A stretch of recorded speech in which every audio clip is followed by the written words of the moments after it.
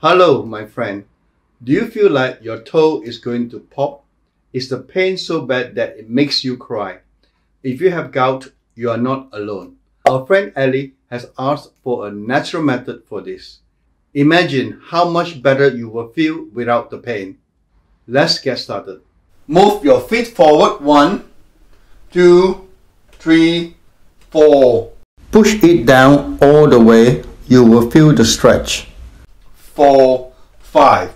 Back, one, two, three, four, five, one, two, three, four, five. To the left, one, two, three, four. Make sure you stretch to the tension point. Three, four, five. To the right, one, two, three, four, five, one, two, three, four, five. Clockwise direction, one, two, three, four, five, one, two, three, four, five.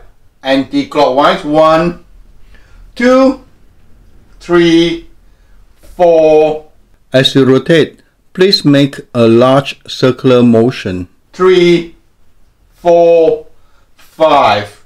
Move your toes forward down. One, two, three, four, five.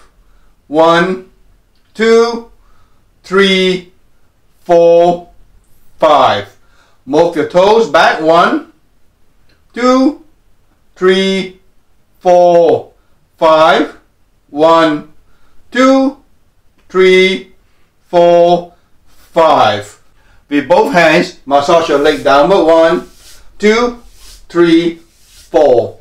For the best result, massage with a strong pressure. Five. Massage your leg. One, two, three, four, five. One, two, three, four, five. Move your toes back and forward. One, two, three, four. For the best result, follow my pace. Three, four, five. Stretch your toes forward and hold it for five seconds. One, two, three, four, five, and relax. With both hands, palm onto the gout area and bounce it without touching the area. One, two, three, Four. Please move your palms at the same pace as me. Four, five. Stop. Hold it for five seconds. One, two, three, four, five, and relax. Blow the air onto the pain area. One, two, three, four. Go for it as much as you can. Two, three, four, five.